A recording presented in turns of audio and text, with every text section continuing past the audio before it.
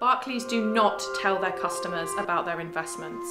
Barclays Bank have invested £122 billion in fossil fuels since the Paris Agreement.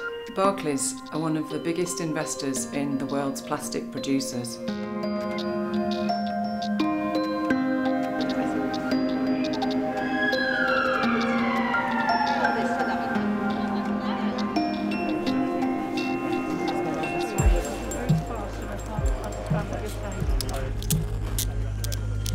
Barclays are the biggest fossil fuel funder in the UK. Barclays are the biggest fossil fuel funders in Europe and Barclays are the number seventh bank in the whole world for fossil fuel lending.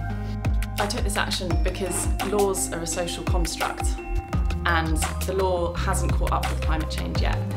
It's Barclays that really need to be prosecuted.